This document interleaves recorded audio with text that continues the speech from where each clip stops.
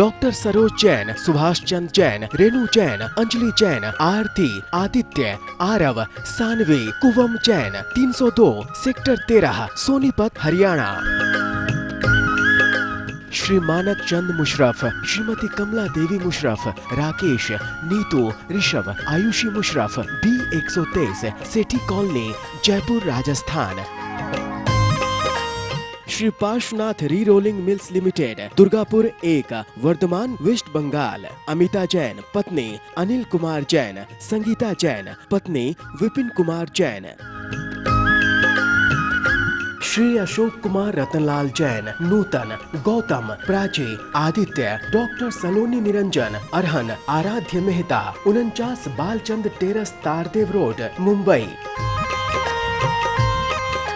श्री सुखवीर प्रसाद जैन, श्रीमती राजेश जैन, श्री अमित जैन, श्री दीपक जैन, श्री कुशान जैन, विनय खंड, गोमती नगर, लखनऊ, उत्तर प्रदेश। इस कार्यक्रम के नमन करता है कलावती जैन, आशीष जैन, श्रद्धा जैन, ईशान जैन, मंदसौर, मध्य प्रदेश।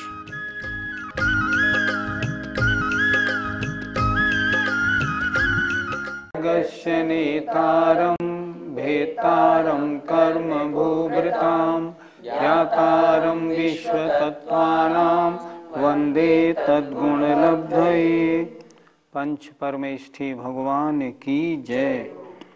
संत शिरोमणि आचार्य विद्यासागर जी महाराज की जय।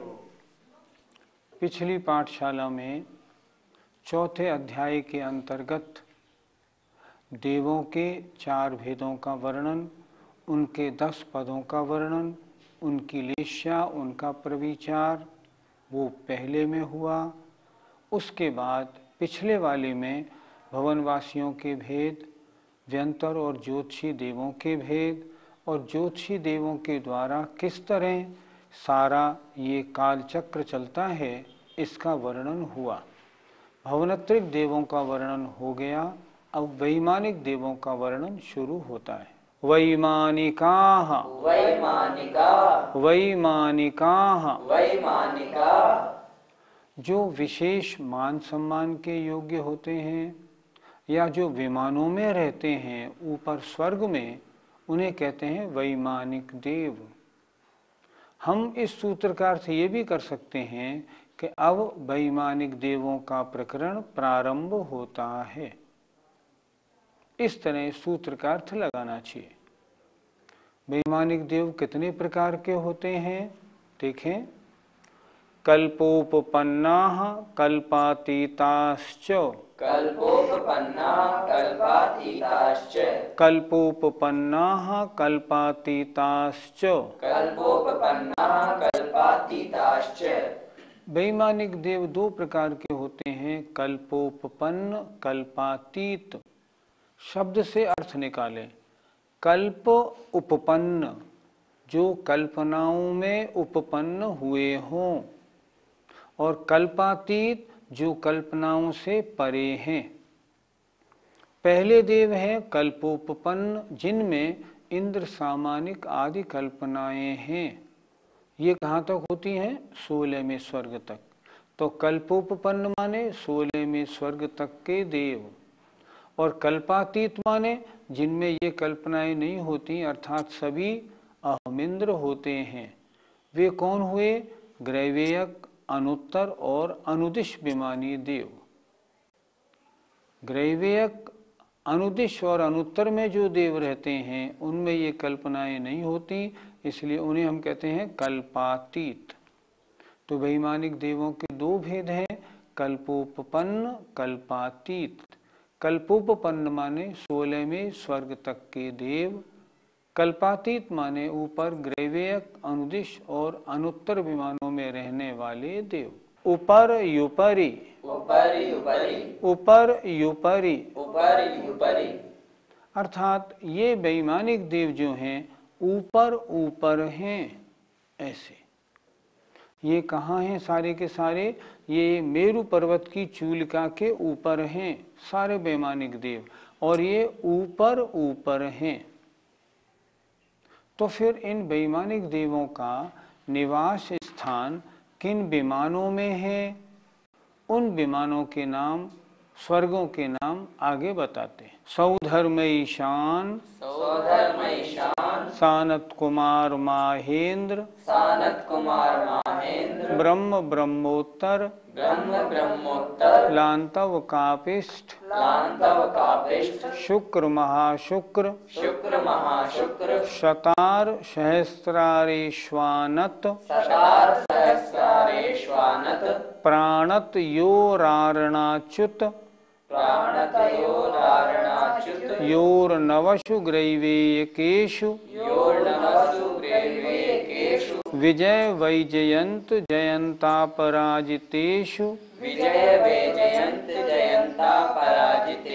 सर्वार्थ सिद्धौ च। सर्वार्थ सिद्धौ च। बोलिए। सौधर्म ईशान सानत कुमार माहेंद्र ब्रह्म ब्रह्मोत्तर लांतव काभिष्ट शुक्र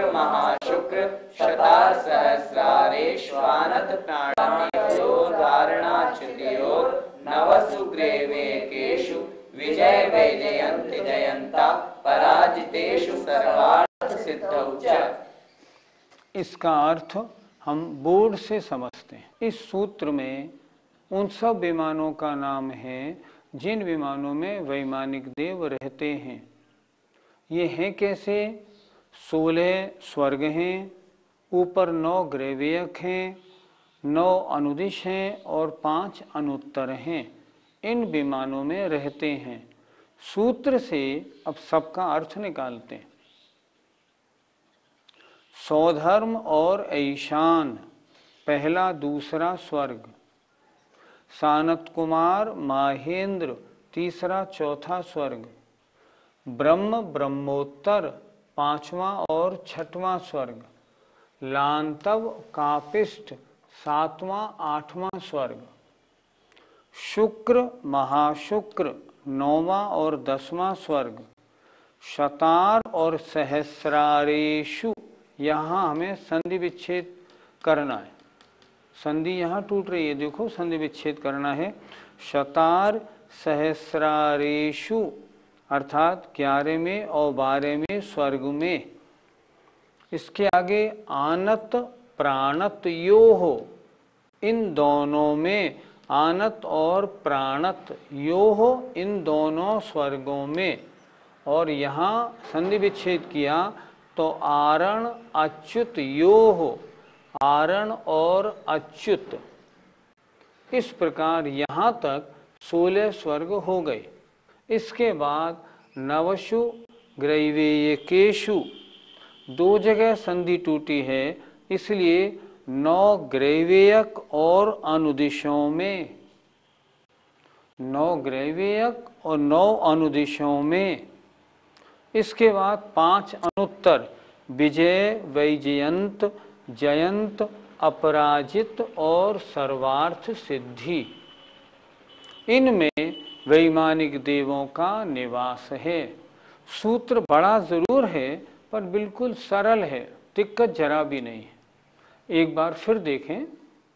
सौधर्म और ईशान, पहला दूसरा स्वर्ग, सानत कुमार माहेंद्र, तीसरा चौथा स्वर्ग, ब्रह्म ब्रह्मोत्तर, पांचवा छठा स्वर्ग, लांतव कापिष्ट, सातवां, आठवां, शुक्र, महाशुक्र, नौवां, दसवां सतार सहस्रार ग्यारहवां और बारहवां।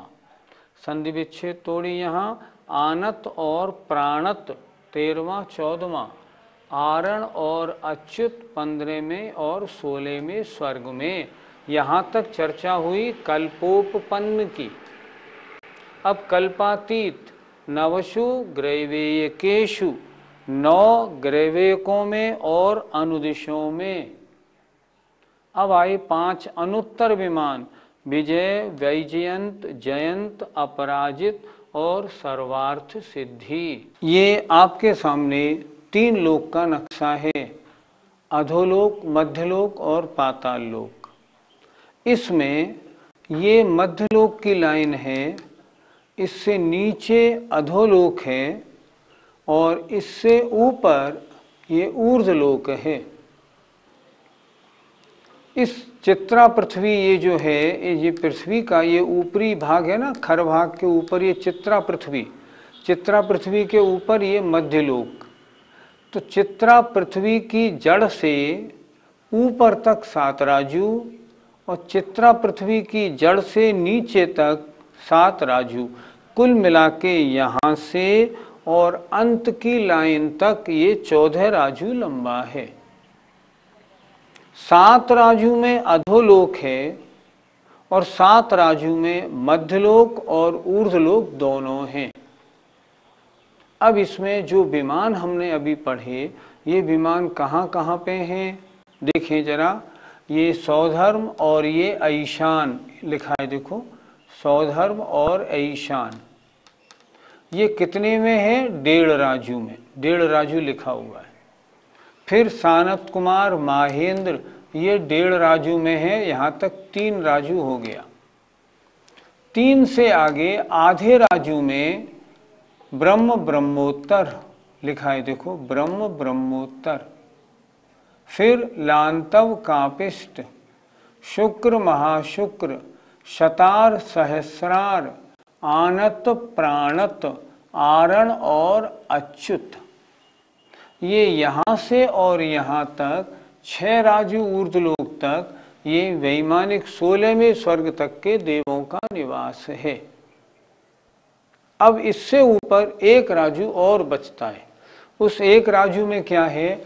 ये जो नौ लाइनें आपको दिखाई दे रही हैं, सोलहवें स्वर्ग से ऊपर ये नौ ग्रेवेयक हैं। जो नौ लाइन दिखाई हैं, एक के नीचे एक, सबसे नीचे पहला ग्रेवेयक, फिर दूसरा, फिर तीसरा, फिर चौथा, ऐसे। इसके बाद ये जो आपको नौ शिखर दिख रहे हैं ये ये हैं नौ अनुदिश।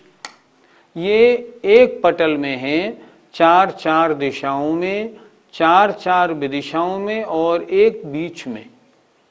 ये नौ हमने इस तरह दिखाए हैं, पर ये नौ इस तरह हैं, चार दिशाओं में, चार विदिशाओं में और एक बीच में। इसके ऊपर फिर ये आ गए विजय, वैजयंत, जयंत और अपराजित और सर्वार्थ सिद्धि। ये अनुत्तर विमान है पाँच। अनुत्तर विमानों के बाद क्या है? अनुत्तर विमानों के बाद बारह योजन जगह खाली छोड़ दो सर्वार सिद्धि से ऊपर। फिर ये आठ योजन मोटी, ये अष्टम पृथ्वी है। हम बोलते हैं ना अष्टम वसुधा पाने को कर में ये आठों द्रव्य लिए। ये अष्टम प्रतिमा, अष्टम वसुधा कौन? ये अष्टम वसुधा। इसमें ये क्या है? ये है सिद्ध शिला। ये सिद्ध शिला है। सिद्ध शिला के ऊपर क्या है? फिर तीन वात वाले हैं। पहला घनोदधि वाले, फिर घनवात वाले और फिर तनुवात वाले। सिद्ध भगवान कहाँ विराजमान होते हैं? इस सिद्ध शिला पे नहीं। सिद्ध भगवान विराजमान होते हैं तनुवात वाले के अंत में जहाँ लोक समाप्त होता है सारे सिद्ध भगवानों के सिर वहाँ स्पर्श करते हुए होते हैं। इस तरह ये ऊपर ऊर्धलोक का चित्रण है। वैमानिक देवों के कुल कितने पटल हैं? पटल कहते हैं विमानों की पंक्तियाँ। जैसे एक मकान में फ्लोर होते हैं, इसी तरह कुल कितने फ्लोर विमानों के हैं? सोलह में स्वर्ग तक बामन पटल हैं। नौ ग्रेवेयक के नौ पटल हैं, बामन और नौ इकसठ। नौ अनुदिश का एक पटल है और पाँच अनुत्तर का एक पटल है। इस तरह ऊर्धलोक में कुल तिरसठ पटल हैं। सबसे ज़्यादा पटल सौधर्म और ईशान स्वर्ग में हैं जिनकी संख्या इकतीस है। कुल पटल कितने?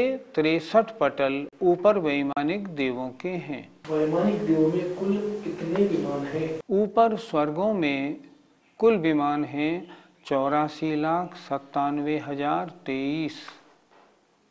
प्रत्येक विमान में एक एक अकृत्रिम जिनालय हैं। तो ऊर्धलोक के जिनालय भी चौरासी लाख सत्तानवे हज़ार तेईस गिने जाते हैं। इस तरह देखा जाए तो कुल विमान चौरासी लाख सत्तानवे हज़ार तेईस और उनमें प्रत्येक जनाले के 108 प्रतिमाओं का गुणा कर लो, कुल मिला के इतनी प्रतिमाएँ उन सारे विमानों में हैं। सूत्र में सर्वार्थ सिद्धि विमान को अलग से क्यों दिखाया है? इसका कारण है कि सर्वार सिद्धि में पैदा होने वाले सभी देव अगले जन्म में मनुष्य बनकर मोक्ष प्राप्त करते हैं। इनका सिर्फ़ एक भव और शेष रह गया है, मनुष्य पर्याय का। सब सर्वार सिद्धि से मनुष्य पर्याय धारण करेंगे, मुनि बनेंगे और मोक्ष पधारेंगे। ये विशेषता होने के कारण उसको सबसे अलग दिखाया है। और अन्य देव भी हैं जो एक भवतारी होते एक भवावतारी का मतलब होता है, जिनका अब सिर्फ़ एक मनुष्य भव लेना शेष है और मोक्ष चले जाएँगे। आपका प्रश्न है, क्या और भी कोई देव ऐसे होते हैं क्या? हाँ होते तो हैं। जैसे सभी सौधर्म इंद्र, उनकी सची नाम की इंद्राणी, उनके सभी लोकपाल, सारे दक्षिणेंद्र सभी सर्वार सिद्धि के देव और सारे लौकांतिक देव। ये देव इतने महान होते हैं कि अगले भाव में मनुष्य बनेंगे, नियम से मोक्ष जाते हैं। प्रश्न अब खड़ा होता है, ये ऊपर ऊपर जो वैमानिक देव रहते हैं, इनमें किन किन बातों की अधिकता पाई जाती है? अगला सूत्र देखिए, स्थिति प्रभाव। सुख द्युतिलेश्या सुख द्युतिलेशा विशुद्धीन्द्रियावधि विषय तोधिका विशुद्धीन्द्रियावधि विषयतोधिका द्वारा बोलिए। स्थिति प्रभाव सुख द्युतिलेशा विशुद्धीन्द्रियावधि विषयतोधिका नीचे से ऊपर के विमानों में ये बातें अधिक अधिक हैं। सूत्र देखें, सूत्र बहुत सरल है।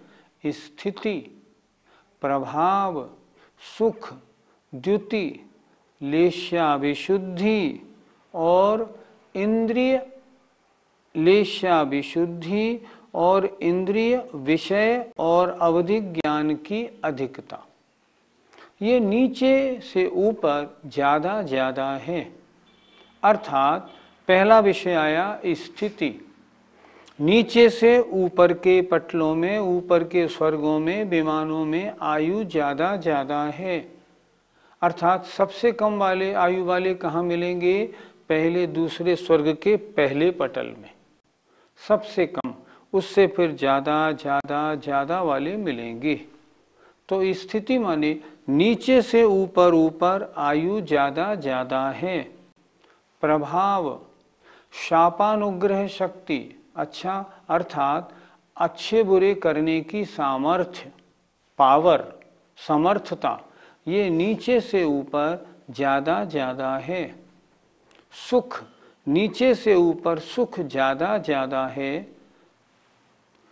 द्युति, शरीर की आभरणों आदि की कांति नीचे से ऊपर ज़्यादा ज़्यादा है। लेशा की विशुद्धि, अर्थात लेशा नीचे पीत है, ऊपर विशुद्ध होते होते होते, ऊपर जाके परम शुक्ल लेश्या हो जाती है। नीचे से ऊपर लेश्या की विशुद्धि ज़्यादा ज़्यादा है। इंद्रिय विषयों की अधिकता, पाँचों इंद्रियों का विषय नीचे से ऊपर ज़्यादा ज़्यादा है और अवधि ज्ञान की सीमाएँ भी नीचे से ऊपर ज़्यादा ज़्यादा हैं। विशेष वर्णन अगर आपको देखना हो तो सरवार सिद्धि राजवार्तिक आदि ग्रंथ में देख लें। यहाँ हम संक्षेप से ही पढ़ा पाएँगे नहीं अन्यथा ये विषय बहुत हो जाएगा। अगला सूत्र ये बता रहा है कि नीचे से ऊपर के स्वर्गों में क्या क्या चीज़ें कम हैं? गति शरीर परिग्रह विमान तो हीना। गति शरीर परिग्रहाभिमान तो हीना। बोलिए। गति शरीर परिग्रहाभिमान तो हीना। चार बातें बताई, गति, शरीर, परिग्रह और अभिमान। इनकी अपेक्षा से नीचे से ऊपर के विमानों में ये चार बातें कम कम हैं। वहाँ कहा था पहले सूत्र में, अधिकाहा। अब कह रहे हैं हीनाहा। ये चार बातें ऊपर ऊपर कम पाई जाएँगी। कौन कौन? पहली बात तो गति। गति माने आवागमन, आना, जाना, भाग, दौड़। नीचे से ऊपर के विमानों में गति कम होती है। शरीर शरीर नीचे से ऊपर के विमान में छोटा छोटा छोटा होता है। परिग्रह भी नीचे से ऊपर के विमानों में कम होता है और अभिमान माने अहंकार। मान कषाय की तीव्रता नीचे से ऊपर के विमानों में कम कम पाई जाती है। इसका कारण जरा और देखते हैं। जैसे, नीचे से ऊपर के विमानों में गति कम क्यों है? कषाय की तीव्रता होती है वही आदमी भाग दौड़ ज़्यादा करते हैं। कषाय की मंदता वाले भाग दौड़ कम करते हैं, प्राप्त धन में संतोष रखते हैं। देवों में नीचे से ऊपर लेशा की विशुद्धि है, नीचे पीत, ऊपर पद्म, शुक्ल और परम शुक्ल। इसलिए ऊपर ऊपर आवागमन कम है। और तो और, सोलहवें स्वर्ग से ऊपर के जो देव हैं ग्रैवेक अनुदिश और अनुत्तर विमान वाले, वे तो भगवान के कल्याणकों में भी नहीं आते, इतने शांत परिणामी होते हैं। कल्याणकों का अवधि ज्ञान से ज्ञान हुआ खड़े हुए और सात कदम आगे बढ़े, वहीं से नमोस्तु भगवान को अवधि ज्ञान से देख के कर लेते हैं। आना जाना उनको नहीं सुहाता। नीचे से ऊपर गति माने आवागमन कम है। शरीर, देखिए सौधर्म ईशान स्वर्ग में शरीर कितना बड़ा? सात हाथ। छोटा होते होते होते होते ऊपर अनुत्तर सरवार सिद्धि में मात्र एक हाथ, बस।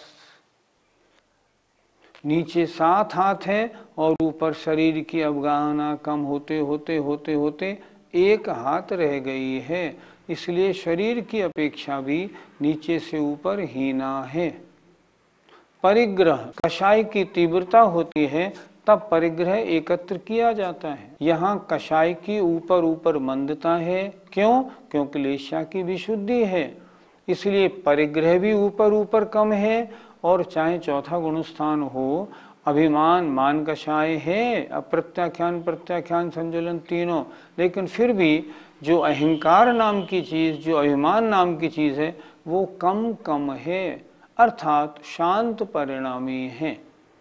क्या सूत्र का अर्थ हुआ नीचे से ऊपर के देवों में सौधर्म स्वर्ग से ऊपर के ऊपर के देवों में गति माने आना जाना शरीर की अवगाहना परिग्रह और अभिमान कम कम होता है। आगे बताते हैं कि इन वैमानिक देवों में लेश्या कौन सी होती है? पीत पद्म शुक्ल लेश्या द्वित्री शेषेशु। पीत पद्म शुक्ल लेशा द्वित्रिशेषेषु बोलिए। पीत पद्म शुक्ल लेशा द्वित्रिशेषेषु अर्थात सौधर्म और ईशान स्वर्ग में पीतलेश्या है, पहले दूसरे में। तीसरे, चौथे स्वर्ग, दूसरे युगल में नीचे पीत, ऊपर पद्म है। पाँच छ सात और आठवें स्वर्ग में पद्मलेश्या है। नौ, दस, ग्यारह, बारह में पद्म और शुक्ल है और उसके बाद सभी कल्पोपन्नों में और कल्पातीतों में शुक्ल है। ऊपर इतना अंतर ज़रूर है, ग्रैवेकों में शुक्ल लेश्या है और अनुदिश और अनुत्तरों में परम शुक्ल लेश्या है। दोबारा देख लें, सूत्र का अर्थ क्या है? पीतलेश्या दो युगलों में, पद्मलेश्या तीन युगलों में और शुक्ललेश्या शेष युगलों में, शेष विमानों में है। भावार्थ करेंगे तो ये बनेगा, पहले दूसरे स्वर्ग में पीत तीसरे और चौथे में नीचे पीत, ऊपर पद्म। पाँच, छ, सात, आठ में पद्मलेश्या है। नौ, दस, ग्यारह, बारह में पद्म और शुक्ल दोनों हैं। तेरह, चौदह, पंद्रह, सोलह में स्वर्ग में शुक्ल लेश्या है। नौ ग्रविकों में शुक्ल लेश्या है और अनुदिश और अनुत्तर विमानों में परम शुक्ल लेश्या है। वैमानिक देवों की चर्चा में वे कहाँ रहते हैं? उनके विमान ऊपर ऊपर हैं। नीचे से ऊपर किन बातों की अधिकता है, किन बातों की कमी है और उनकी लेशियाँ है, इसका परिचय आज इस पाठशाला में हुआ। अब शेष वैमानिक देवों की ओर चर्चा अगली पाठशाला में करेंगे। तब तक के लिए जय Jinendra. Doctor Saroj Jain Subhash Chand Jain Renu Jain Anjali Jain Aarti, Aditya, Aarav, Saanvi, Kuvam Jain 302 sector 13 Sonipat, Haryana. Shri Manak Chand Musharraf, Shrimati Kamla Devi Musharraf, Rakesh, Neetu, Rishabh, Ayushi Musharraf, B 123 Sethi colony, Jaipur, Rajasthan. Shri Parshvanath rerolling mills limited, Durgapur एक, Varthaman, West Bengal. Amita Jain, पत्नी, अनिल कुमार जैन। संगीता जैन, पत्नी, Vipin Kumar Jain. Shri Ashok Kumar Ratanlal Jain, Nutan, Gautam, Prachi, Aditya, doctor Saloni Niranjan, Arhan, Aaradhya Mehta, उनचास Balchand terrace Tardeo road, Mumbai. Shri Sukhvir Prasad Jain, Shrimati Rajesh Jain, Shri Amit Jain, Shri Deepak Jain, Shri Kushan Jain, Vinay Khand, Gomti नगर, लखनऊ, उत्तर प्रदेश। इस कार्यक्रम के नमन करता है कलावती जैन, आशीष जैन, श्रद्धा जैन, ईशान जैन, मंदसौर, मध्य प्रदेश।